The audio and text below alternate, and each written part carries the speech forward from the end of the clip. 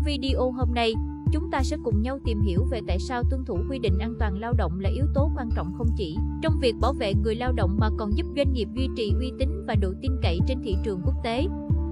Phần 1. Tầm quan trọng của an toàn lao động An toàn lao động không chỉ là nghĩa vụ pháp lý mà còn là trách nhiệm đạo đức của mỗi doanh nghiệp.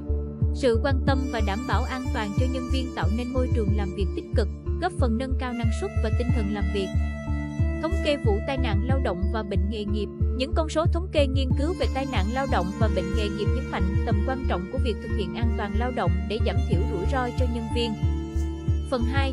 Lợi ích của tuân thủ quy định an toàn lao động Bảo vệ nhân viên, tuân thủ quy định an toàn lao động giúp ngăn ngừa tai nạn và bệnh nghề nghiệp, bảo vệ sức khỏe và tính mạng của nhân viên.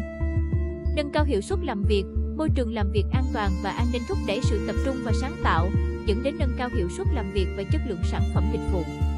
Tạo niềm tin cho khách hàng, doanh nghiệp tuân thủ quy định an toàn lao động thể hiện cam kết với chất lượng và đạo đức kinh doanh, giúp tạo dựng niềm tin từ phía khách hàng. Phần 3.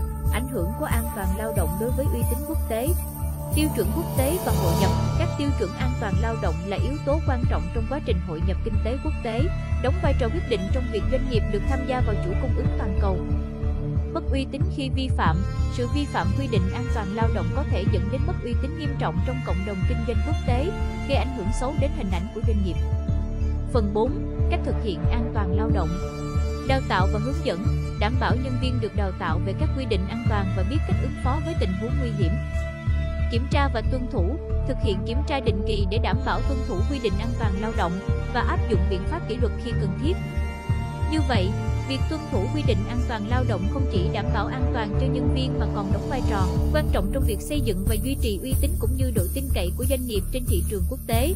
Chúng ta hy vọng rằng thông qua video này, bạn đã nhận thức thêm về tầm quan trọng của việc thực hiện an toàn lao động và tầm ảnh hưởng của nó đối với sự phát triển bền vững của doanh nghiệp. Bên dưới phần mô tả video, mình có đính kèm đường dẫn tải về bộ tài liệu an toàn lao động của 32 ngành nghề phổ biến. Đặc biệt là nó hoàn toàn miễn phí nhé.